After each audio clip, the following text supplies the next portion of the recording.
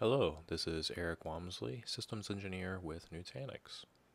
Today's video is to go over a feature that's actually been around since AOS and Prism Central 5.5, but it's only recently started to get utilized by customers and it's gotten really powerful, and that is categories. Categories are a way to identify objects inside of a similar group. You can actually see on the screen right here, I'm on the categories view, and there's a couple of default categories like application type, application tier, or environment. Good example of a category would be things like the environment one there in the middle. You can categorize your VMs as production, dev, test, pre-prod, staging, things like that. You can also categorize hosts. So if you have a cluster or a set of hosts that you want to categorize as an environment, as an ownership or a department, you can do that. To get to categories, inside of Prism Central, on the top left, click the menu icon, go to Virtual Infrastructure, and then click on Categories. You can also click the star to make it show up in the home menu. And then once you click categories, it'll bring you back to that same screen we were on, listing all of the available categories.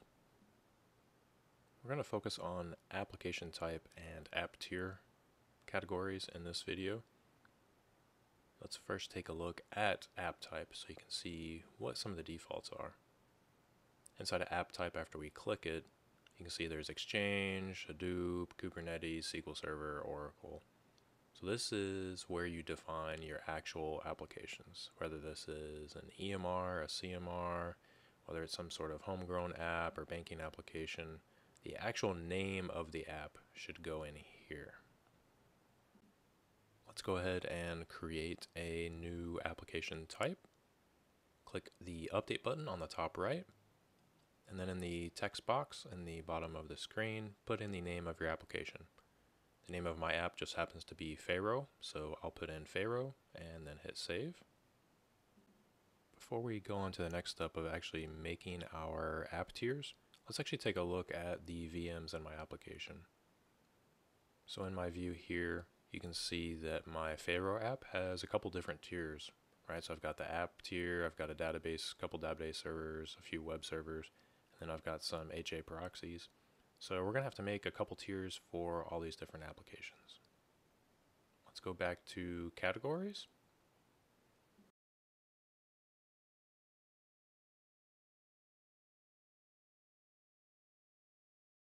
Then click on app tier.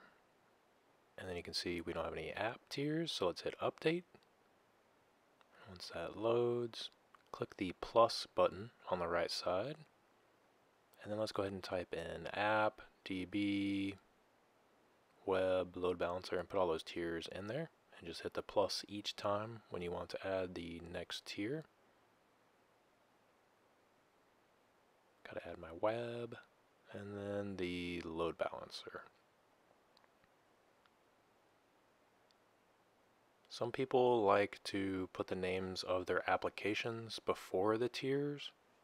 So like for the example that I just put in, you could have done Pharaoh underscore app, Pharaoh underscore DB, things like that.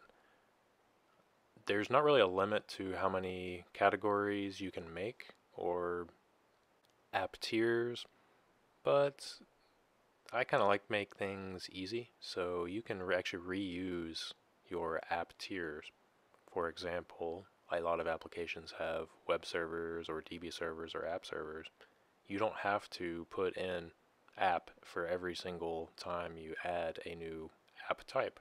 So if you have application 1 and then you assign a app tier of app and web like I have here, you're good. Then you add another application like Pharaoh or your EMR. Those can also have app or web types but you don't have to come in and rename them every single time or add special names every single time just for that application. But you are welcome to if it helps your organization strategically plan and use the app types and app tiers that are available through this functionality. When we're done here, go ahead and hit the Save button, and it'll go back to our Categories page. You can see that actually my app, DB, and other tiers have loaded. It's on the top row. Now the fun part is to actually assign categories to your objects. Remember an object can be like a VM, it can be an image, it can be a host, it can be a cluster. So let's go ahead and look at my Pharo applications again and we'll start assigning categories to them. And it's fairly easy to do, so go ahead and just go to your virtual machines. And when you're looking at that inventory, just check the boxes next to the VMs that you want to assign a category or multiple categories to. And then check the box for actions and do manage categories. Once you're managing categories, you can just search for whichever category you're looking for, and it doesn't have to be any specific ones, right? So you see I type in Pharo and it automatically detects it. I can type in app and I can see my app type. And then just hit the save button and then iterate through the rest of your VMs that you want to assign the categories for. And this is where you could also assign categories for things like environment. So if it was going to also be categorized as prod or pre-prod, you could do that here. So again, remember just to check your VMs, go to actions, and then go down to manage categories, and just type in the names of the categories you want. If you're not sure what your names are, you can actually just type in like app type or app tier and it'll list all the ones that are available for you. And again, just hit save. This is for my Pharo DB servers. Then we'll do the same thing for my web real quick. So again, just check your web servers, go up to actions, and I apologize for my very slow computer. It's about time for me to get a new one.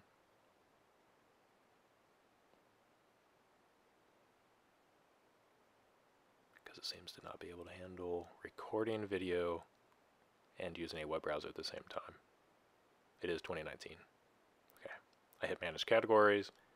Again, type in Pharo. Select the web after hitting the plus button one more time and hit save. And then lastly, I need to add my load balancers. So that would be unchecking the two web servers and then check the boxes for my HA proxy servers.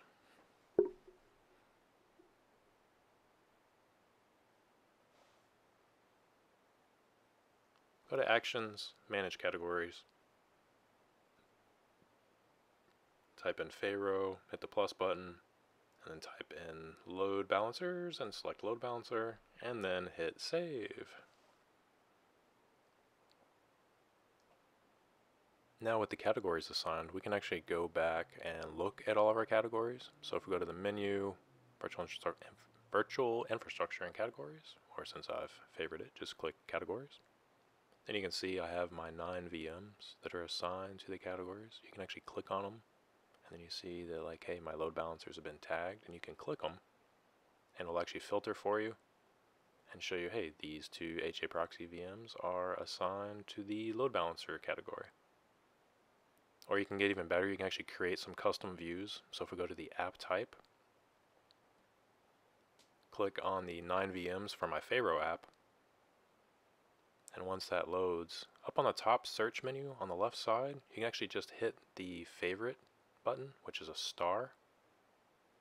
And it'll actually save it so that it's a view that you can access quickly. So if this is a group of VMs that you access all the time, it'll show up right there under the dashboard. So now I can click that and it'll take me to the Pharo applications anytime I want.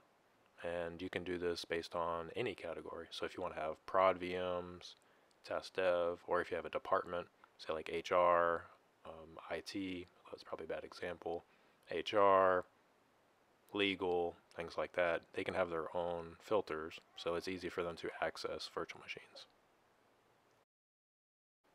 From here, it makes sense to go ahead and make any other app types and app tier categories that you want, any custom categories, or editing any of these other system-defined categories. After you've made all your categories and signed them to objects like clusters and VMs, you can actually go in and edit policies for things like security policies, backup and replication policies, and other protection policies like that. Which means that categories and policies basically go hand in hand. It gets you away from managing individual virtual machines, so you no longer have to define a backup policy or backup schedule for an individual virtual machine. You can say everything that's defined as my environment production and has the app type of Faro gets a one hour RPO and is replicated over to our DR site in Atlanta or something similar. I'm going to explore in some future videos the ability to actually assign categories to security policies. This allows us to run microsegmentation or virtual firewalls for our environment based on those categories we just assigned. I hope this video was helpful for you to learn about categories inside of Nutanix. I appreciate you viewing it, and if you want to see more videos, either check out my YouTube channel or go to my personal website, ewams.net. Thank you.